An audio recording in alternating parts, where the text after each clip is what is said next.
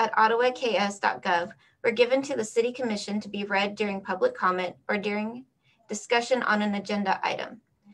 The Commission must describe at the beginning of the meeting the process that will be used for a closed or executive meeting pursuant to KSA 754319 and amendments thereto.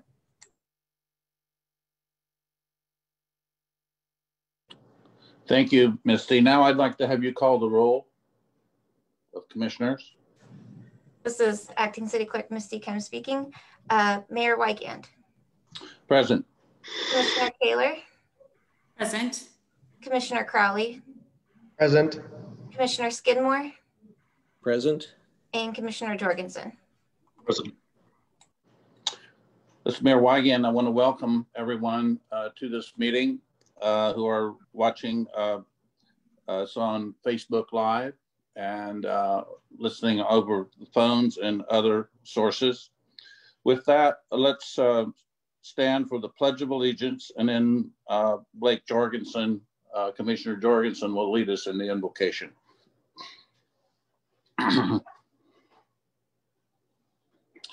I pledge allegiance to the flag of the United States of America and to the republic for which it stands, one nation, under God, indivisible, with liberty and justice for all. Blake, Sorry, I had to get myself unmuted here. Um, let us pray. Heavenly Father, since before the time of Moses, you showed your eagerness to guide your people. Thank you for your compassionate care. Today, we place our work and ourselves into your hands. Please anoint our creativity, our ideas, and our energy so that even the smallest tasks may bring you honor. God, when we are challenged, please guide us. When we are weary, please energize us. May the work that we do and the way that we do it bring hope, life, and courage to all whom we represent within our community. Please bless this commission with wisdom and discernment. Please bless the city's workers with commitment and compassion. And please bless our citizens and, our, and their families with courage and strength during these trying times. We pray in the name of the Father, and the Son, and the Holy Spirit. Amen. Amen.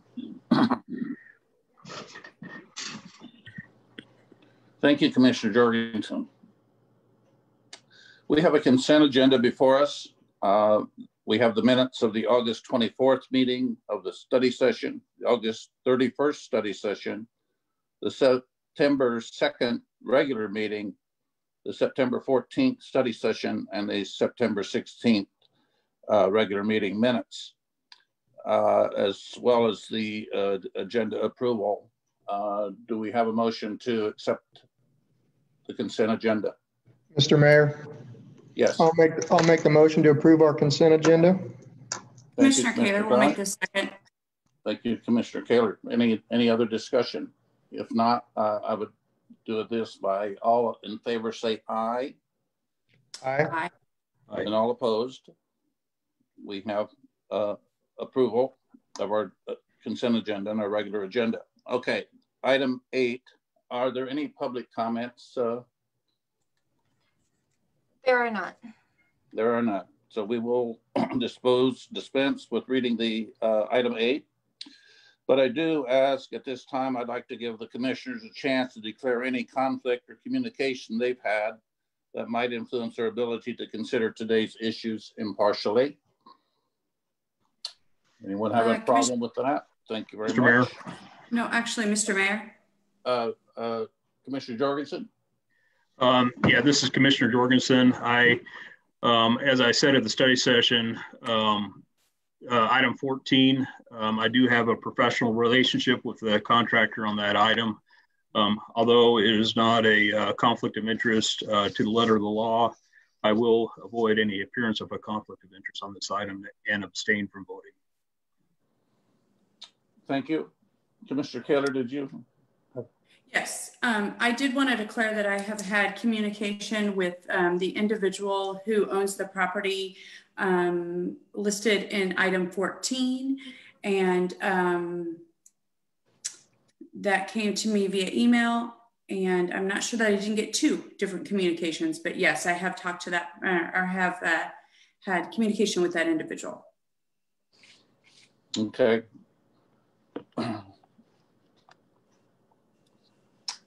Thank you for those disclosures. I, I, I don't see a big problem there, but uh, I understand. Um, at this time, we have uh, item 10.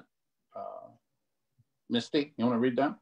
This is Misty Kims, acting city clerk speaking. Proclamation recognizing National Friends of Library Week, October 18th through 24, 2020. This proclamation highlights the work of the Friends of the Ottawa Library to support additional programs and projects at the library throughout the year. Terry Chartier, Ottawa Library Executive Director, will accept the proclamation and uh, Commissioner Crowley will read the proclamation. And the proclamation reads as follows. Whereas Friends of the Ottawa Library raises money that enables our library to provide resources for additional programming that supports children, teen, and adult programs and special projects throughout the year. And whereas the work of the Friends continually highlights the fact that our library is the cornerstone of the community that provides opportunities for all to engage in the joy of lifelong learning and to facilitate connection with the thoughts and ideas of others from ages past to the present. And whereas the Friends' gift of their time and commitment to the library sets an example for all to observe how volunteerism leads to positive civic engagement and the betterment of our community. And now, therefore, the governing body of the city of Ottawa, Kansas does hereby proclaim October 18th through the 24th of 2020 as National Friends of Library Week, signed this 21st day of October 2020 by our mayor, Tom Weigand. Thank you, Commissioner. Uh, Terry, would you have anything you'd like to say in that regard? I do. Thank you. Thank you, Mayor Weigand and City Commissioners for recognizing National Friends of Libraries Week. Ottawa Library has been blessed with our very own Friends group for over 47 years. I would like to share a bit of Friends history that was written, written by Marty Underwood, who served as president of our Friends Group from 1991 to 1992. The establishment of the Friends of the Ottawa Library occurred as a result of discussions held in 1971 concerning the official beginning of the Ottawa Library Endowment Fund. The founding of the Friends of the Ottawa Library is recorded as 1973. In 1972 to 1973, the following Ottawa Library Board of Trustees worked on the organizational draft of the Friends. Bill Bennett, Jane Bird, Pat Collins, Harold Gannigan, Dr. Andrew Martin, Dottie Wellington, and Nancy Winter. In 1973, Thelma Lewis, Robert Pence, and Jerry Thompson replaced members on the board.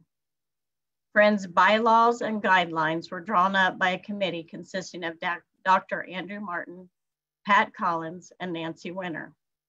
Ottawa attorney Robert A. Anderson was consulted by Peg Carr and Alameda Edwards concerning the legality and structuring of such an organization. January 21st, 1973, the first meeting of the Friends of the Ottawa Library was held. The agenda was created by Ottawa Library Board of Trustee members, Dottie Wellington, Nancy Winter, Jean Park, and Library Director Nell Barnaby. Alan Lloyd was acting temporary chairman. February 18, 1973, the first executive board of the Friends of the Ottawa Library were elected as follows. Alameda Edwards, president, Peg Carr, vice president, Connie Zook, secretary, Fred Hoopman, treasurer. By 1980, the board expanded to seven members.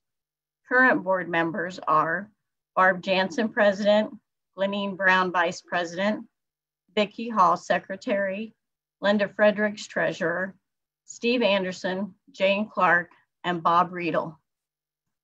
You prob probably recognize some of those past and current names. Friends of the Ottawa Library raise funds through memberships and book sales. They ran annual book sales from August 1973 to 1997 at Skunk Run Days. With the move of the Ottawa Library from the Carnegie Library building in 1996 The Friends needed to find a new home. The City of Ottawa offered the Friends space in a warehouse in October of 1997. After spending time and money on renovations, the Friends of the Ottawa Library Bookstore opened at 209 East 2nd Street with one sale a month in July 1999.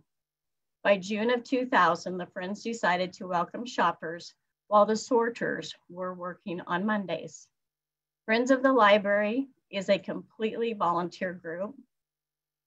The current bookstore hours are Mondays from 1 to 2.30 and the first and third Saturday of each month from 9 to noon.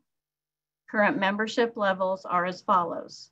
Individual family is $10, friend is 25, patron is 50, benefactor is 100, business is 30. Store prices, children's books are 25 cents, paperback books are 50 cents, hardback books are $1 or up, DVDs are $1.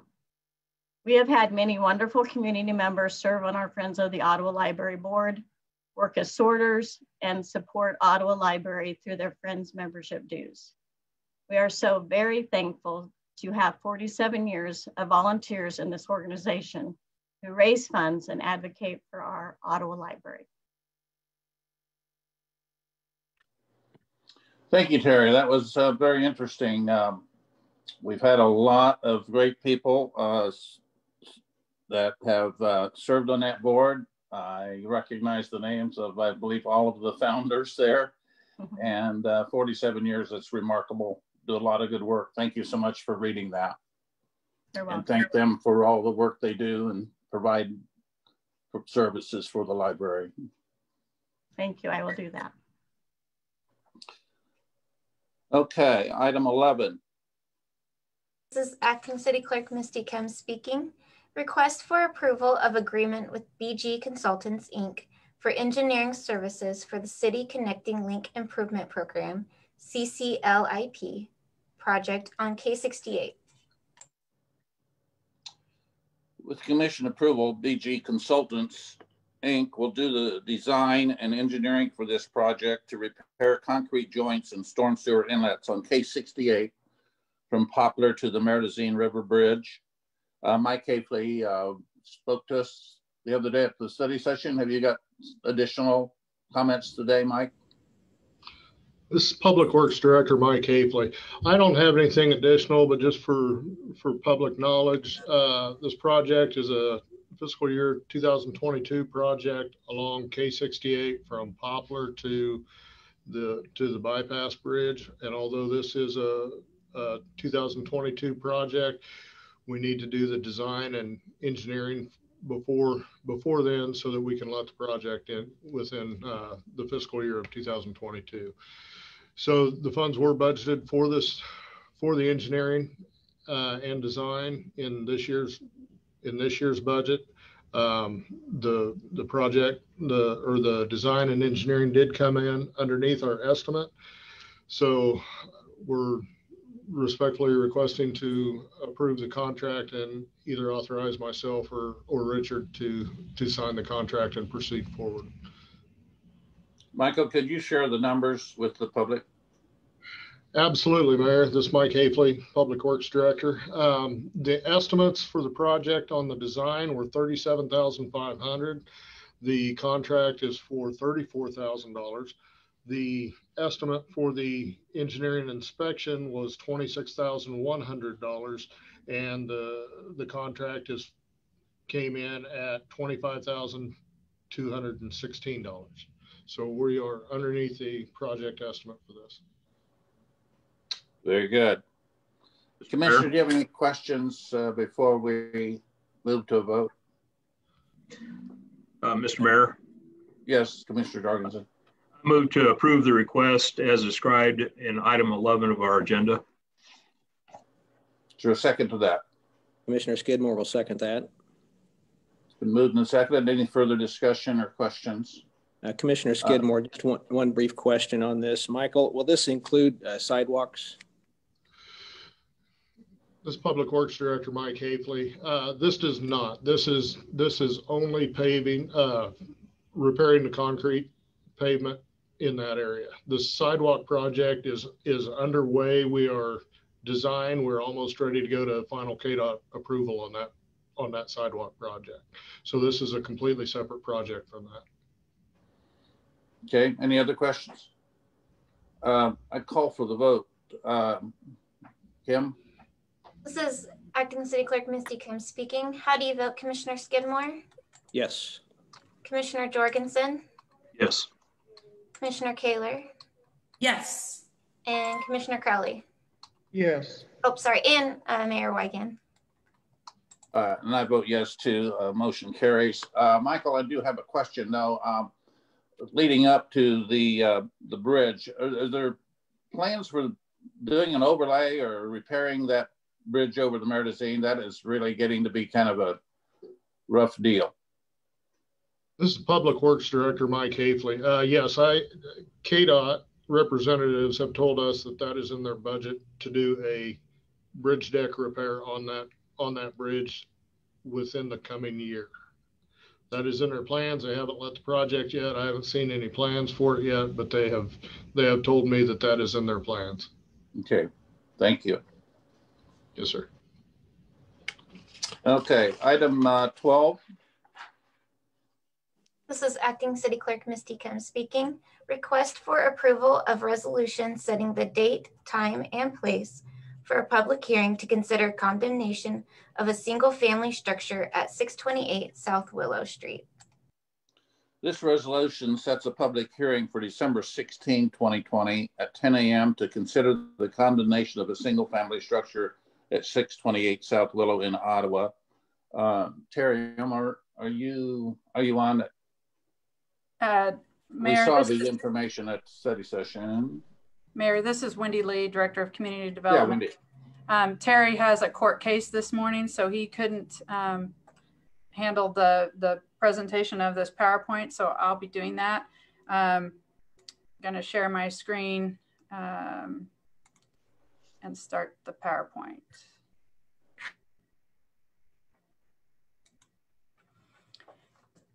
So uh, we have two of these actions today that we um, want to share with you. The first is um, 628 Willow, honestly. I don't know if they're in for sure the same order as your, yes, 628 Willow. Um, and then the second one is 819 East 8th. But this first one, um, the owner moved out in early of 2019. Um, the uh, department representatives sent a letter asking them about their intent with the structure, um, indicating that they thought, you know, we needed to see action on that. The, the son of the owner asked for extension until this year to make repairs. Um, unfortunately, there was uh, additional reach out to the owner uh, and no, no responses. Um, but then in September, the son did contact staff again saying they were trying to sell the property. Uh, at this time, no permits been obtained and there's um, no indication that work is imminent. Um, the taxes are current on this property. The structure's been vacant. It is dilapidated and staff recommends setting the hearing um, to uh, provide for the public's comments. As you can see from these images, um, there are a number of structural defects and um, it's unquestionable that it is providing um, a blight influence to the neighborhood um, and does um, put it put people at risk for accidents and other calamities. Um, and so uh, you've got the full reports and Terry just you know provided those to you and we talked about that briefly on Monday.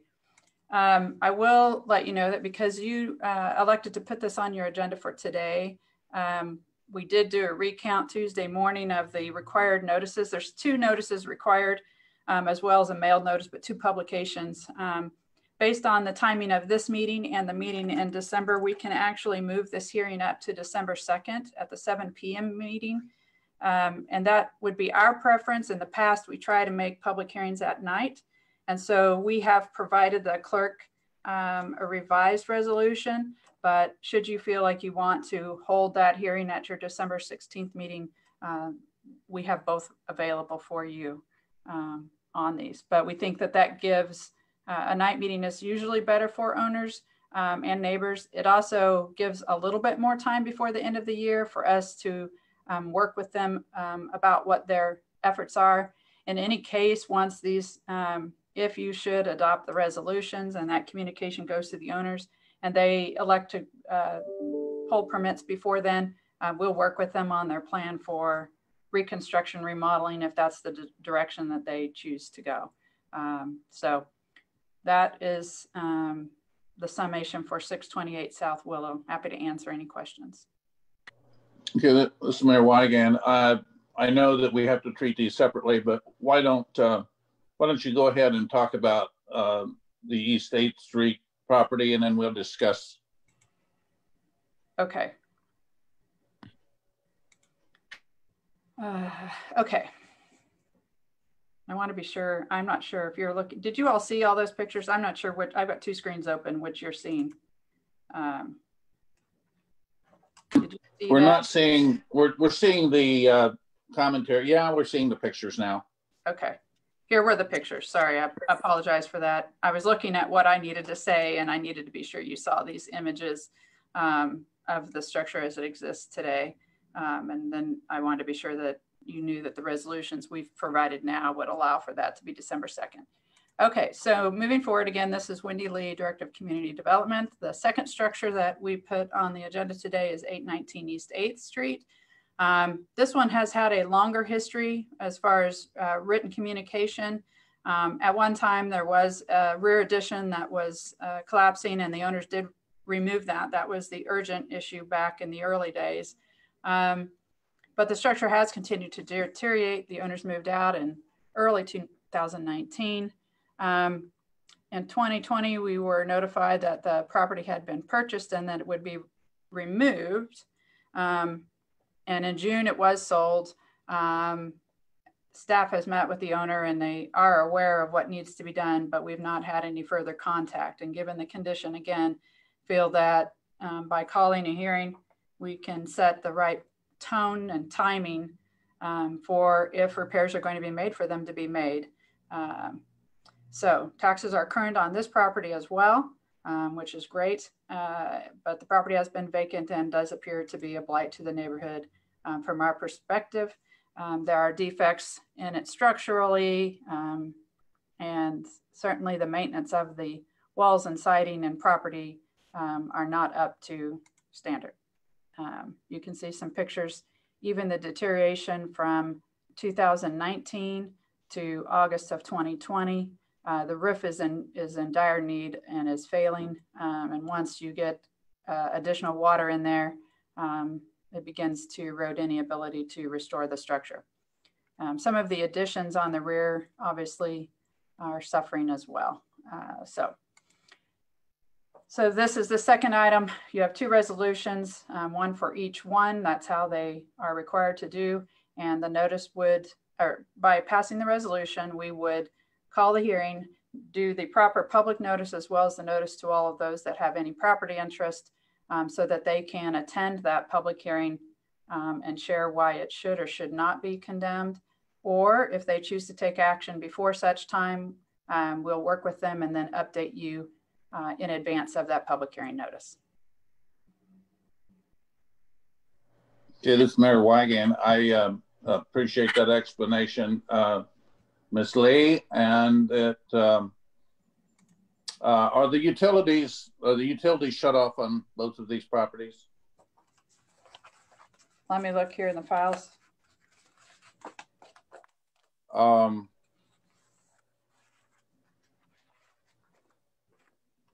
they look like in a great deal of stress from the pictures.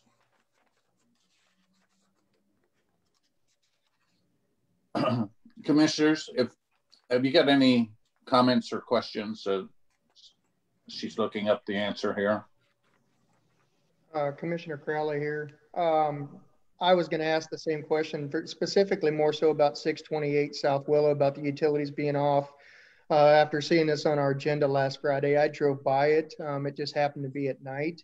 and it Yeah. looked to me like there might have been a light on um, inside. So I was also concerned about potential squatters if that wasn't a, a uh, uh, in-use property. Um, from what I'm seeing, and I'm, I started with the 628 Willow, um, it doesn't say they're off. Usually if they're off, we put a hold on them and there's not a notation that we've put a hold. Um, we sometimes at, at a point like this, if we know the structure's fine, we can continue to watch it in case there's squatters, because if that uh, situation starts to develop, then we will board the structure um, in order to prevent that from happening. Um, and I'll, I'll visit with Terry and staff to see if they believe uh, that it's at risk for, um, for example, with the electrical in particular, at risk for a fire if they're still connected. Um, but if they, um, yeah, we have not requested any disconnection uh, at this point, but we have to also be mindful that if you take away the power and there is heat happening, that that would then potentially result in the pipes uh, being uh, at risk. And certainly we're headed into the colder weather. So we can have a visit about that and visit with our attorney. Commissioner Crowley here again. Is is that is that 628 South Willow property have a do not occupy on it? Yes. So Okay. I just was updated. Charlotte did say that they are off. Um, and, and so we just put holds on them. Just my paperwork wasn't showing that. So they are off. That should answer that. Uh, Mayor Weigand, this is Sarah Caylor speaking. Um, I uh, want to, I don't have any concerns about either one of these. Clearly, both of these structures are in um, not livable conditions and um, probably are a blight to the neighborhood. Um, and or not probably are a blight to the neighborhood. And I think that the staff at community development has done a really good job of um, presenting a really fair and balanced report for us today. And um, I would believe that we should move both of them forward. I can make an individual motion if, if you're prepared to take one at this time. I would uh, accept the motion on, on those proper, uh, the individual properties. Um, And uh, the motion probably should include the date. Um, well, we probably want to have that discussion before because it appeared as though, um, Mrs. Lee, did you not discuss a couple different options on dates? Um, this is Wynndee Lee, Director of Community Development. The original uh, resolution that we had prepared for you for Monday um, anticipated that there would be two study session discussions and that the action would not take place till November. So it, by law, was then required to be at the December 16th meeting. Because you are prepared to take action to call a hearing today, um, we revised those two resolutions and provided them to the clerk to enable you to update that date to December 2nd at 7 p.m. So there's no legal reason that we can't go ahead and um, I make the motion to have a public hearing for December 2nd. That's right. Okay, perfect. Then I will make the motion um, to place a, or to set a public hearing to consider condemnation for um, the property located at 628 South Willow on December 2nd at 7 PM. And Commissioner Skidmore will second that. Been moved and seconded. Any other discussion? I call for the vote. This is Acting City Clerk Misty Kemp speaking. How do you vote, Commissioner Crowley? Yes. Commissioner Skidmore? Yes. Commissioner Jorgensen? Yes. Commissioner Caylor? Yes. And Mayor Weigand? And I vote yes too. Uh, motion carries. I would entertain a motion for the other property, eight nineteen East Eighth Street. I'd make the motion to um, set the public hearing to consider condemnation for the structure located at 819 East 8th um, for December 2nd at 7 PM. Commissioner Crowley will second. Been moved and seconded. Any other discussion or comments? I would call for the vote then. This is Acting City Clerk Misty Kemp speaking. How do you vote, Commissioner Caylor? Yes. Commissioner Crowley? Yes. Commissioner Skidmore? Yes. Commissioner Jorgensen? Yes. And Mayor Weigand? And I vote yes also. Uh, thank you for your work on this, uh, uh, Wynndee. And um, uh, we need to uh, um, take a look at these unsafe properties from time to time. Uh, let's move on to uh, item 14. This is Acting City Clerk Misty Kemp speaking. Request for approval of ordinance vacating a portion of utility easement on Lot 16, Block 1 of the Westwood Number 2 addition. The owner of the property requested the vacation to allow for construction of a new single-family structure. A public hearing was held. The Planning Commission has reviewed and approved the request by a vote of 6-0. Uh, we've heard about this. Uh, Wynndee, you want to speak to it a little bit? Uh, yes, sir. This is Wynndee Lee, Director of Community Development.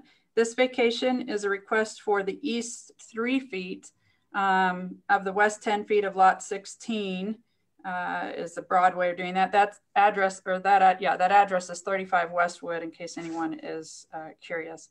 Um, so when a property is platted, um, the easements that the utilities all believe are necessary, along with the right of way that the public works and others uh, establish as necessary, that's part of the platting process.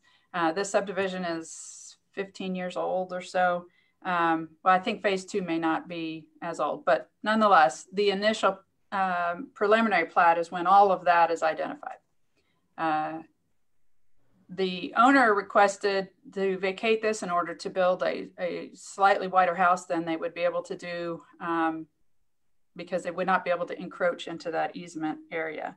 Uh, the Community Development Department uh, sent the request to the Development Review Committee as well as the Utility Advisory Committee members, which are comprised of all the utilities, public utilities. Um, uh, so in case, let's say Kansas Gas or somebody who we don't have their mapping uh, does have something there, they're notified. Or if they're planning a project, um, sometimes something they have may be in an area, but in order to, uh, you all know that when we do water, we may extend water, but then we always want to loop it. So those kind of opportunities are sometimes uh, what happens in easements as well.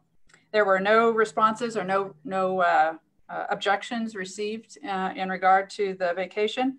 And so um, then the Planning Commission's role is just to be sure that we did give proper notice. Um, we did call the hearing and notify the affected property owners, um, conclude that no private rights are injured or endangered, um, as well as that the public would suffer no loss or inconvenience. Um, and so as a result, they recommend to you to vacate this partial easement um, for the applicant's um, project to move forward. Okay, thank you. Uh, uh, Wynndee, are there any any uh, questions, comments before we move on this? This uh, city manager mindset. Uh, Mr. Mayor, uh, thank you. Richard Nienstedt, City Manager. Mrs. Lee, just uh, uh, real quickly, um, I know that this is from uh, probably the original date that these easements were done was around 2000. Is there anything we can tell our builders or developers who are different owners of land like this than from the original um, that they may want to look at uh, and help expedite in 2020 because it might not be the same as 20 years ago? Um, it, it's really true whether you're a builder, a developer, or just an owner of a property. If you have an easement on your property, um, it's really incumbent on you to know what it's there for. Um, so that if you're planning a garden or a fence or an addition, any of those things, um, it may look like to you on the surface that there's nothing about that that would impede your project. Um, however, below the surface or overhead, people oftentimes don't catch our electrical lines. Um, there are things there that would uh, not enable the project to move forward. So the earlier that they are, um, one, informed of their own property boundaries and easements, which they can discover by checking their legal work if, they, if they're the owner, um, or at least visiting with us early in their process. Um, we've had situations where pools couldn't be placed where they wanted to place, sheds have had to be relocated. Um, we've had people alter the terrain in a storm drainage easement.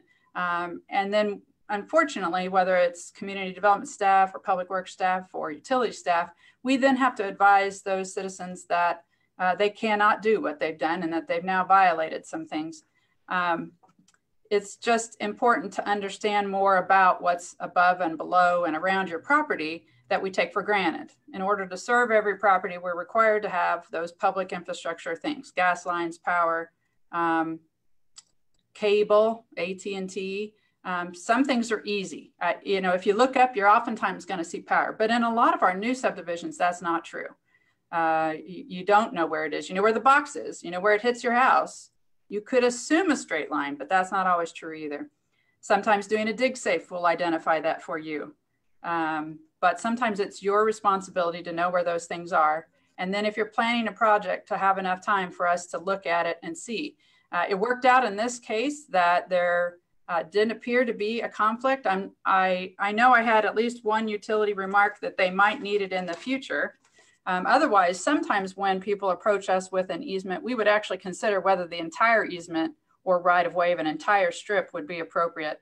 Early this year, we had a homeowner want to put a fence uh, along a uh, along a roadway. Uh, it was his side yard. He was on a corner. Um, we spent actually two months trying to make that work. Now, he had not submitted a formal application. He was doing an inquiry. He wanted to know if he'd be receiving support. And it turned out that Kansas Gas had a significantly, a, a line that was significantly far from the right of way. And so this vacation of right of way that which looked good to Dennis and Mike and I couldn't be supported because they were not going to allow for a fence if the right of way was vacated. Well, that was the goal of the project from the property owner. Um, so he didn't spend the time and the money to apply because he got his answer because we spent some time trying to figure out if it could be done. Um, so it just isn't always easy to be done. But when it is, we try to accommodate it if it seems right for the organization. Um, but our job as staff is to be sure that the long term of our organization's utilities as well as those of the other public utilities are met first. This Mayor Weigand, I got a question. Uh, you had mentioned that somebody built a, I, I, believe, a fence or retaining wall, moved some dirt or something that uh, was in violation or, or went over on some kind of an easement. Uh, are, are, when someone comes in uh, for a building permit or some kind of a permit on their property, is it always checked to whether they have uh, an, there's an underlying easement next to them or on them or uh, I, I I believe this this easement was caught by the owner after they had the permit to build the house, but I'm not sure of that either. I don't believe the permit has been granted. Um, the uh, when we ask for a property owner to do a diagram, they're supposed to identify all of that. Uh, in a case like this, where it's a recently platted area, it's actually fairly easy to find out. Um, and so when the first question came up, um, I I asked staff to actually go check the final plat because sometimes the preliminary plat shows something that isn't actually adopted in the final plat because they moved a line or didn't need it to be where it was illustrated um, or didn't construct it where it was illustrated. Um, because there was some question when this one came up about was it for stormwater and was the stormwater in the right place. Uh, there was a platted easement here, so it was easy to find but it's actually the owner's responsibility to know where their easements are. And if they have questions, we can help them. But not all easements are the cities. And sometimes easements are filed directly from Kansas Gas or Department of Transportation or AT&T. We don't always have those available to us. That's why we I, we involve all the rest of those parties asking whether or not they have any concern in an easement that we do know about. Um, but there are times when people, even with a permit, I'm sure, have built somewhere that later we discover was a problem. I know of a house that was built. I, I mean, I started here in the 90s. This house was not new then, and it was over a stormwater. It's not unlike the house that um, the Public Works removed up there on Logan. It was built over a stormwater box. Well, now in today's standards, we would not do that. Um, but these, this is, you know, it's incremental. I guess we we try to avoid that and then try to refrain from it happening, because if it appears that it's not needed, then we should eliminate it. But if we want, I, I am also aware of some places we had to go back and acquire right away where we had vacated it previously. So we have to we have to use some sound judgment, try to look at it for the long term. I believe ordinarily uh, easements are are in uh, deeds. Uh, title companies uh, explain or show the purchaser uh, that there is an easement on the property, and uh, and so that is that can be the responsibility very early in the game and and get that recognized. Right. So anyway, commissioners, what's your uh, what's your thoughts on this? You want to anybody going to make a motion? Mr. Mayor. Yes. This is Sarah Caylor speaking. I move that we approve the ordinance vacating um, the utility easement listed in item 14 at 35 Westwood um, in Ottawa. And Commissioner Skidmore will second that. It's been moved and seconded to approve the vacation of the portion of the utility easement. Um, any other discussion? If not, I will call for the vote. This is Acting City Clerk Misty Kemp speaking. How do you vote, Commissioner Jorgensen? Abstain. Commissioner Caylor? Yes. Commissioner Crowley? Yes. Commissioner Skidmore? Yes. And Mayor Weigand? And I vote yes too. Uh, motion approved. We have a report by the city manager. Commissioners, Richard Nienstedt City Manager. Thank you. um, I have one thing. As a part of um, the CARES funding we received, one of the projects um, we received funding for was that we're between now and the end of the year, well, between now and December 30th, uh, we are going to be, we meeting the city, are going to be reminding and encouraging our citizens, all citizens, why it is important to wear a mask, right? Why it's important to wear a mask. Um, you'll be hearing it on KOFO. We're trying to work out some details with the Herald so that people can get information there. But I would just say this that uh, we're going into, uh, as those of you who have children in school know, um, it's these are extremely dicey times. Um, uh, the, the more cold weather we have, the more we are all in the same room together, the more the spread of infectious diseases. And this fall, we will have two things to worry about uh, COVID and influenza. And the experts tell us that they are worried about a twindemic. And the mask, when you wear the mask for COVID, it protects others from you. Uh, now, the mask works a little bit different for influenza, but it does help to mitigate the spread of that also. So, I would also like to add for our public that's listening is if you if you buy fast food, if you go through a drive-in, um, and I know there are some other businesses that you do drive-ins through also. Um, wear your mask. Wear your mask. That person at the window, um, they're serving you, but they need to feel like you are protecting them. Wear your mask. Even though you're sitting there in a car, you're getting the food. Um, almost all of the servers I have seen at our, our restaurants, our fast food restaurants, come to the car are wearing a mask. So they're protecting you. Please do your part to protect them. And that's all I have, Mayor. Thank you.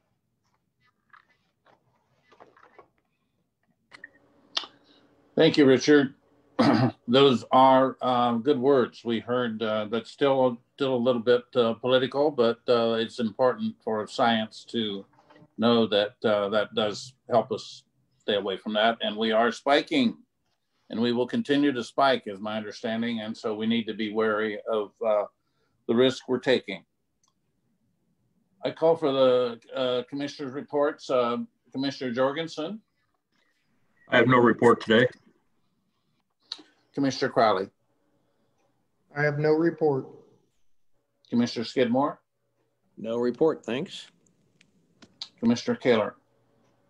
Um, I do have just a short little thank you that I want to send out. Um, as individuals know, we have um, had a census going on for the last several months, and it concluded on October 15th, which is just about a month or a week ago. Um, we did have a really uh, diligent complete count committee, and I believe that they need to be um, given some thanks for what they did. As we all know, everyone who's on here, and I'm sure everyone who has listened, the importance of the census and how important it is for our community for the next two years or 10 years. Um, and so these individuals sat on our complete count committee, Donald Anderson, our, Blake, our own Blake Jorgensen, Stephen Bradley, Crystal Anderson, Derek Chappell, Diana Starsnick Dean, Gloria Matthews, our own Gloria Matthews, Janet Paddock, Jody Smith, John Cohen, Lisa Slavin, Marie Gardner, um, Lisa Rockers, um, Melissa Bustamante, uh, Midge Ransom, our own Paul Summer, um, our own Richard Nienstedt, uh, Dr. Ryan Cobbs, Stephen Heiga, um, our own Matt Simonson, uh, and our own Mike Hazley and Dennis Hadel, um, all sat on that committee, and I appreciate every single thing that they did. We also had some businesses that really stepped up and made sure that individuals knew how important the census was. Kansas State Bank, um, the co-op, uh, Price Chopper, Constantino's Price Chopper. And um, I really uh, want to thank them and let them know that um, how much we appreciate uh, their willingness to um, get the information out about the census. That's the end of my report. Thank you. Thank you. That uh, that was an extremely uh, important function. A lot of people involved in that, and I'm going to go home and take my sign down. Uh, no more counting, I guess.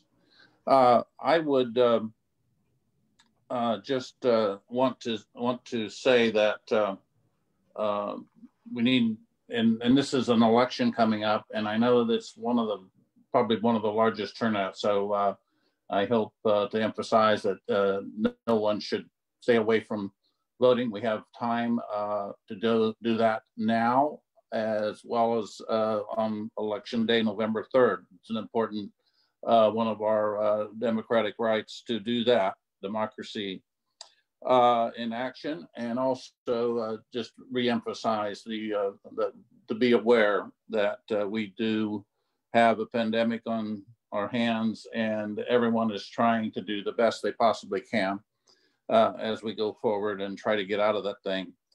Um, I do have announcements. October, um, actually today, uh, we have a meeting by Zoom with the city, the county, and the school district. Uh, that's not uh, Richard shaking. Not true. Commissioners is a meeting by Google, and that invitation has been sent out by USD 290. So I wouldn't want our public to be looking for Zoom when this is on Google. Okay. Thank you. Uh, I don't know if you know it, but you got somebody looking over your shoulder right now, Richard. So be careful. A big guy. The the uh, uh, we do have a meeting, a distance meeting uh, at noon today, October 22nd. Next Monday, we have a four o'clock uh, study session also uh, by Zoom. November 2nd, another study session, four o'clock uh, via Zoom. And November 4th, our regular meeting, it will be at 7 p.m. on that Wednesday uh, by Zoom. There's nothing else to come before us this morning. I'm going to adjourn this meeting at uh, 1050.